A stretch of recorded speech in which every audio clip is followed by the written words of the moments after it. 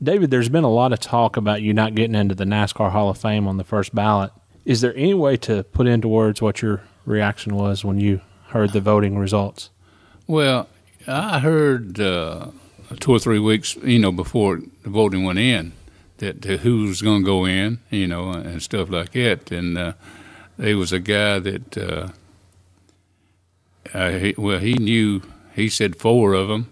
He said the two Frances you know's going in, and he said uh, Richard and Earnhardt's going in because they won seven championships, you know. So uh, I understand that. And he said, uh, from what I understand, they want a car owner to go in. And he said that'd probably be Hendricks. And I told him, I said, no, I don't think so. Yeah. He said, why not? You know, as good as they done everything. I said, well, if you want to go back like they really ought to, I said, it'd be Junior Johnson. He said, what makes you think so? I said, if you just think about it, and I don't know whether you know it or not, but Junior Johnson, the one that got R.J. Reynolds to go into NASCAR, Yeah. you know, and got started. And I said, and look how much, how many millions of dollars they made off of R.J. Reynolds, you know, because R.J. Reynolds paid everything. And I said, it'd be Junior if they get a car owner, you know. And he said, you know, I hadn't even really thought about that, but uh, he was right. And the guy, uh, you know, he told me exactly what was going to happen. Will it be enough for you to go in next year? Well, I mean, it's just like uh, racing. You know, you you always want to be number one. You Yeah. know, and and I would like to win in the first time. No, I am not lying about it. But uh, since I'm not, you know. Uh, I don't care where I'm going or not now, if you want to know the truth. But really, the way I felt like I shouldn't have been in to start with, and nobody else shouldn't have went in except France Senior. And then I, I felt like they ought to got the older people like uh, Raymond Parks. He's still alive. He's 95 years old. And what I understand, he's the one that let France have the money and also furnish a bunch of cars to start racing, start with, you know. So he ought to have been in there. Like Herb Thomas, I think he won the first championship or right at or something. So he should have been in there. I felt like the first drivers and the owners and stuff like that ought to have been the, should have been the first one to go in to start with. Then, like in the fifties and maybe the sixties the next year and the seventies, ain't going up like that. But uh, it, it it would have been nice to be the first one in. But you know, you get to looking at it. Wasn't nobody but Junior Johnson and Petty is the only one that's still alive that went in that time. So it. Uh, I just felt like the older guys ought to win in first. David, you're one of the two or three best drivers who ever strapped into a race car in NASCAR. Where would you rank yourself? Number one.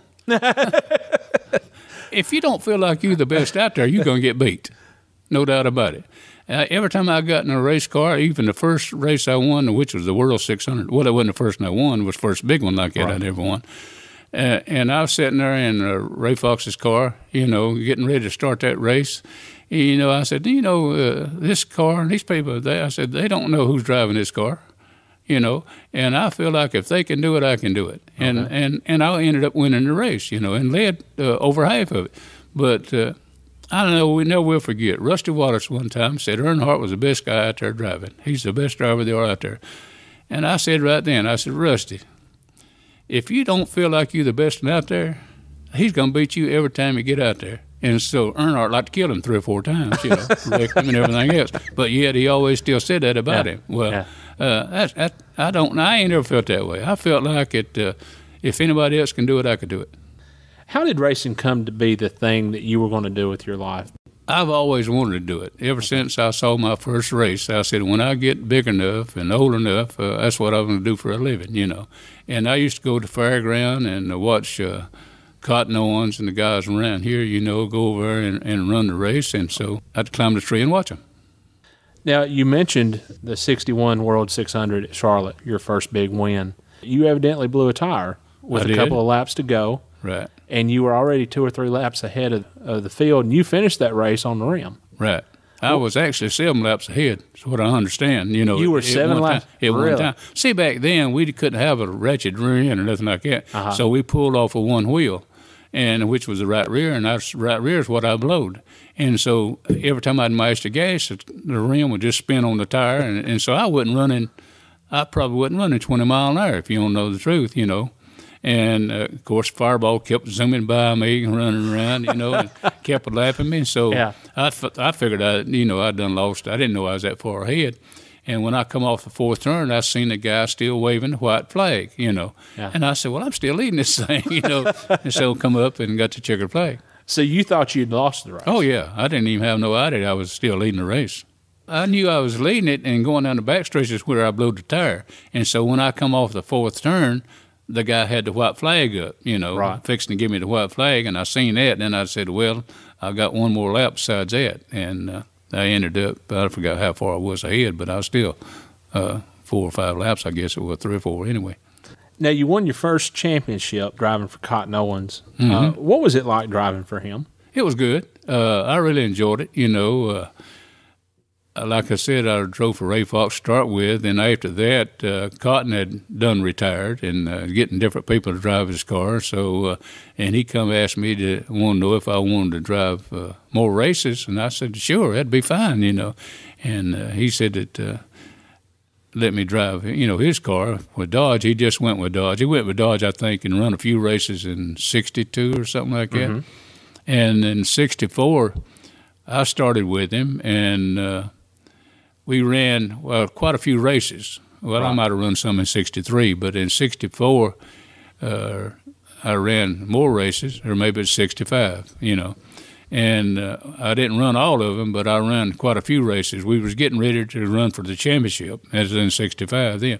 So we run quite a few races in '65, and in '66 is when we went and run all the races to win the championship. And uh, we uh, we we won it, you know, by running all the races. Well, we didn't really win all of them. I don't. Th- I think there was two or three that we actually missed in uh, No, '66, No, you didn't run the full schedule. I mean, you. I think you skipped maybe three or four, something like that. something like know. that. That year, you won 15 races, and most of them were on fairly short tracks. You know, half yeah, mile. mostly or- that's what we ran then. Okay. You know, the Dodge. Uh, we well, we didn't know anything. Uh, Dodge didn't either, as far as that goes, as far as running on super speedways, and we was a little behind on short uh, as far as horsepower. And then they come out and uh, you know had the Hemi, and we started doing that, and it got running better. But uh, then NASCAR outlawed the Hemi, and uh, that's when the Ford come out with uh, what twin cams, overhead cams, something like that. So they outlawed that too, you know, and uh, I guess to make can race them a little bit cheaper, but uh, it was uh, it was good. It was fun working and working with cotton like that. Now, was that part of the strategy to run as well as you could on short tracks, dominate on short tracks, and then get what you could on the on the Well, we we, speedways? we was getting all we could anyway, you know, on short tracks or the you know big tracks. But Yeah. uh, it just seems well, you know, it just don't take as much like running on dirt and stuff like that, which we had a lot of dirt races run too. And uh, you know, you can take a dirt car and just about uh, uh, run good, or, or you know, and uh, it's no matter what springs you got under it, anything else, as long as it's uh, halfway decent, uh, you can do pretty good on dirt. okay. Now, you guys lost Dodge backing. Is that why you left Cotton? Uh, let's see, we was Probably about well, We was in 60, uh, one 66, 67, uh, 67, I believe, or Uh-huh. something along there.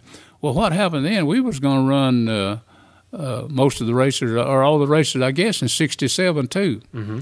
And it's it's kind of funny the way it happened, uh, but uh, we was getting ready to go to Columbia. And so uh, we got over there, and uh, Cotton had the truck outside and everything, and he went home to take a shower or something. I don't know what it was, but when I got there, you know, we'd always went and got ice, stuff like that, or stopped and got ice. So me and the boys, we took off to the ice house and got some ice and everything to put in the coolers and, Yeah. for the drinks and things. So when we left uh, to go get that, Cotton come up and he seen that uh, we was already gone, and so he thought we'd run off and left him, you know. so it uh, got teed him off a little bit, in which you can't blame him, you know, Yeah. because he thought we was gone, and so he got mad and just pulled a car and truck on the in, inside the garage. He said, "Well, if they run off, leave me and leave me here by myself, and uh, I'm not even going." You know, so we took off to Columbia, and when we got back with ice, we seen the car and truck gone. We said, "Well, Cotton's already gone," so we took off to Columbia trying to catch him, and when we got there, no Cotton. He hadn't even got up. So uh, that uh, we got there, and we didn't get to race then, you know. So he was at home, and uh, the next morning uh, like I say, the boys come in to go to work and everything, and he still teed off, and he done fired one or two or something, or said something to them, so they quit or whatever. But anyway, they fired some of them. Or Yeah. then I come in, I said, uh, "What's wrong?" I said, "You firing everybody or what?" He said, "Well, well, what happened?" I said, "If you don't like it, you can leave too. You just like that." And I said, "Well, I don't like it." So I'm gone, you know. so I turned around and left, and uh, of course, uh, I went after that. I went with Holman Moody, Yeah. and uh, of course, I went with them, and I won the championship in '68 with them, and uh, '68 and '69. Right. You know, and I actually won the championship every time I actually run for it, Yeah. and run the races. So it was, uh, and I had a good relationship with them. And uh, what happened with them? We was in California uh, testing for Ford, and uh, Charlie Gray was out there with us, and uh, he was with Ford, and uh, we went to eat lunch one day and come back in, and Charlie said, "Well," I said, "You might as well load up and go home." I said, "Ford just pulled out of racing," and while we was out there testing, you know, Wow. and so uh, that's what we did. We just loaded up, quit, quit our test, and come on back, you know. And so, uh, of course, Holman Moody had enough parts and motors and everything. They could run two or three years, I guess, if they wanted to. But uh, since Ford pulled out of racing, I guess they felt like it. Uh, they needed to do something. So uh, when I went up there and talking to him, and he uh, wanted me to drive for uh, forty percent. Of course, everybody I've ever drove for, I always got fifty percent for driving. And uh, he said, uh, you know, they pulled out of racing, so uh, I need you to start driving for forty percent. I said, John, at ten percent, what I would get is not going to keep you in racing. I said, if you if you can't make it on that, I said, uh, uh, we might well just quit right now. Yeah. So and uh, and I know there wasn't no name me cutting my salary just because that Ford pulled out of racing as much money as he had and much parts he wouldn't have had to buy none for you know for three years anyway. So uh, so I left him, and uh, then later I went with the Woods. You know, Yeah. and of course uh, they just. Glenn or Leonard, one of them called me. I don't know which one it was, and asked me did I want to run Daytona in their car. And I had tried their car out once before when we was down there at Daytona, and I know will forget it. Uh, uh, ever who I believe Foyt was driving for him at the time or something, and uh, but uh, wasn't nobody there, and uh, he asked me. They asked me would I try their car out because their driver wasn't there, and I said sure. I went out there and drove it, and I come back in. I stayed out there a pretty good while. Just kept running, you know, on the feeling of it.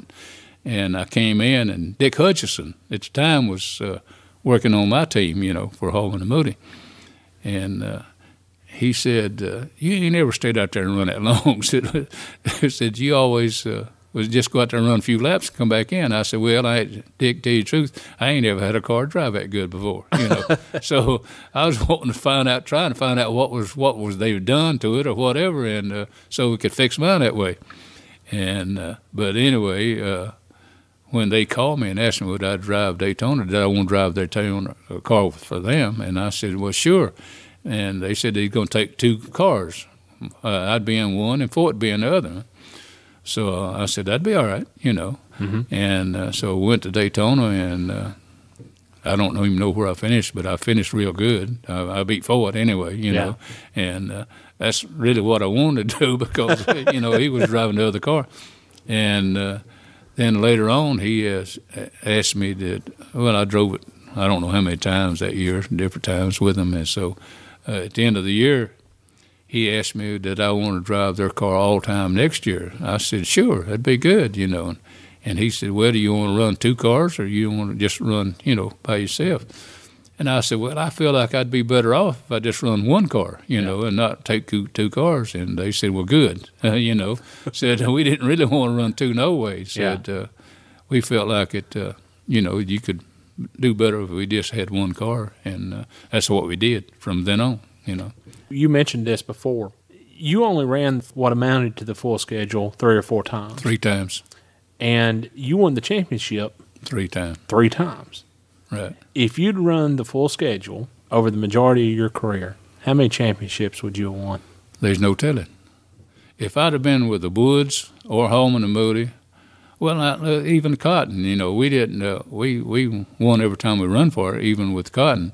But uh, if I'd have had uh, the Holman and Moody, which they had plenty of help and you know the equipment and stuff to do the same thing, and uh, as, as anybody, uh, uh, and the Woods, which was uh, they had uh, what you say forward, you know, they give them all the parts and stuff they had. And uh, I don't know. I really don't. I feel like it, I could have won quite a bit. I really do. Do you ever look back on that and regret that decision? Well, I wished. Well, it wasn't my decision. Yeah. See, it was their decision. They didn't want to run all the races, and uh, they didn't have the help and stuff. And uh, which uh, they was up there in Stuart, Virginia, a little small town, and uh, of course, uh, I, I guess as long as uh, Ford would have done it, uh, they might or paid them for it. Uh, they probably would have done it, and they could have hired more people. But uh, I felt like I could run. You know, I don't know how many years I drove for them, but I feel like I could have probably won a championship half of those times if I'd have won it. You know. Yeah. What was the Wood brothers' reasoning for not running the full schedule? They just because they was there by themselves up there. They had a little small garage, and uh, they didn't have the help. And you know, it's just a family-run deal. And uh, and tell you the truth, uh, uh, Leonard is is the one that done all the work. I mean, Eddie and Len, which was smaller then, Yeah. and uh, they was just learning on what to do, and uh, they let them tear the car apart and, and uh, put it back together. But uh, Leonard would check everything them boys done. You know, he uh, went right behind them and redone it to make sure that it was done right and stuff like that. And far as Glenn, only thing I ever seen him do was pack wheel bearings. we just like when we go to Charlotte uh, and uh, we sit on the post so many times. I believe it's twelve times there in a row or something like that. And uh, he would, uh, I I've seen him change hubs. You know, they would always use, I'd say, graphite grease or stuff like that or something, and he'd already have the hubs made up to, just for qualifying. And uh, he would put them hubs on a car, you know, and uh, of course we'd qualify with them and take them off and put the other hubs because they had real thin grease and stuff like that in them. And uh, I seen him put uh, put the hub on one time. He put it on with his hand, you know, and tighten it up, you know, and it with his fingers, hands. I said that thing ain't tight enough. He said, "Oh yeah." He said, "You ain't gonna drum it two or th- two or three laps." He said, uh, "It won't. It'd be nice." He said, "You'll be all right." And he could take his hand and spin that hub, and man, they just keep on turning, you know, because they had the real thin graphite grease and stuff like that in it, and stuff like that. They went, they did a lot to that car just to run fast for a few laps, you know. And uh, I know they they would back off on the brakes, and I didn't have brake one on that car. If I was to go in a corner and had to hit the brakes or something, uh, well, it, it just went to the floor. Because Really? I know after the, after I got through qualifying, I'd have to pump them four Yeah. or five times, you know, so I'd have enough brakes to even stop after that. And so, like I said, if I'd have blowed a tire or something going in the corner, I'd have busted that wall wide open. but uh, but we sat on the pole, and that's what we went there for. David, there have always been a lot of comparisons between you and Richard Petty. At what point did you look at Richard and say, you know, this is the guy that I've got to beat? About every time we run, you know, everywhere we would go, it would always seem like it. Uh, it would be Richard and myself, you know, uh, ending up uh, at the end of the race running. And uh, of course, there were some guys like Dick Hutcherson and Ned Jarrett. They would run, but uh, it seemed like it, a lot of times we would run so hard and sweet and bang, especially with Hutch or somebody like that, and we'd end up uh, wearing the car out or tearing the car up or doing something, and and the other one would end up standing up. Uh, Jarrett or somebody like that would end up maybe in win the race or Hutch or somebody, you know. And so uh, uh, we got a little bit smart and decided we we better just make sure we be around at the end of the race, and then we had something to run. Now, one of the stats that has always amazed me is the fact that you and Richard finished one and two 63 times. Mm-hmm. You won 33 of those times. Right. Has there ever been a case where you maybe tried to aggravate Richard about that and say, you know, No. I won 33 times, you just won 30, so I'm the man? No, I've never have. Uh, we haven't. We don't even talk about racing when we get around each other. You know, we always got something else or going on with a bunch of bull. You know, and saying something about each other. You know, you know, you know, saying what the other ain't done or can't do or something like that. But uh, we we've always been good friends, and uh, you know, he's my hero, you know. and of course, like I said, if uh, I ever went to a racetrack and, and he was the one that I always looked to and figured if I could beat him, I could win the race. Your most famous one two finish with Richard was the 76 Daytona 500, and I do want to talk about that one in just a second. But there was a race at Daytona a couple years before that, the 74 Firecracker 400, that's pretty famous, where you took the white flag and kind of lifted or let right. him by. What do you remember about that race? Well, he had me beat if I didn't do something. You know, I knew I had to do something because uh, I always accused him running no big engine anyway. You know, he has he has done that quite a few times. I found out, but uh, he uh, he had me beat if. Uh, and I said, "Well, I got, if, if if he'd have went on, ain't no. I, only way I could beat him is trapped by him, you know." Yeah. And, and I knew that. I knew that I had to get me a running start and go by him that way because I couldn't just follow him and go by him.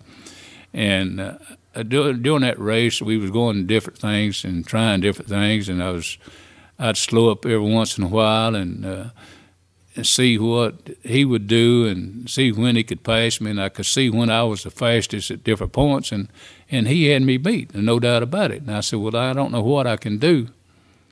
I'm gonna run second.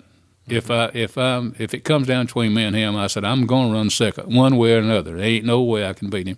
And I said I got to do something to some way or another try to make him and get in front of me, you know. And so I, he wouldn't do it. I'd slow up, and he would not pass me. He'd stay right back there behind me, you know, and he would not try to pass. So when I was coming by, and right when I got to the white flag, I throwed my hand up and just cut down to the inside like I was out of gas or something. He shot right by me on the outside, and I said, "Uh huh." So just quick as I seen him pull out to go by me, I got back on the throttle. Yeah. And uh, it just ended up just right that I just uh, and I think he thought something was wrong anyway because I was far enough back then. Going in one, he probably backed off, you know, a little yeah. bit. And uh, going down the back stretch, uh, I was really drafting. That old Mercury would draft real good. If it just smelled another car in front of it, it would it would really you know break the wind, go on. But it was old big old square front end on it. It would really break a lot of wind. And if, as long as the car in front of it, I could really draft and pick up a lot of speed. So uh, I caught him down, uh, going down the back stretch there, up close to him, and coming off a four, I caught him enough that I just ducked right down and and went by him, started by him, and he run me down on the apron. Then when yeah. he done that, and uh, I beat him. And uh, after the race, he said that that was a dangerous move I pulled. It wasn't half as dangerous as he was running me down on the apron, you know, as far as that goes. But uh, anyway, he got ticked off about it. But uh, I'd found out that uh, before that, uh, he said that uh, there was no way I was going to beat him that day because uh, I think of the last two July races before, I'd pull something on him somewhere or another and beat him. Yeah. And uh, he uh, he said this is one time that he wasn't going to outsmart me or do nothing, pull no trick on me that, they, that he was going to get me that day. Yeah, he talked pretty confidence in it, is what somebody told me. So he undoubtedly had a big engine that day, but uh, he he was good let's talk about the 1976 Daytona 500. Richard and myself, we tangled up, you know, and uh, we both spun around, and uh, Richard's car stalled with him, and uh, I kept mine running. And by the time I got turned around and uh, went back and uh, got on the racetrack and got to the checkered flag, I was running about 20 or 30 miles an hour.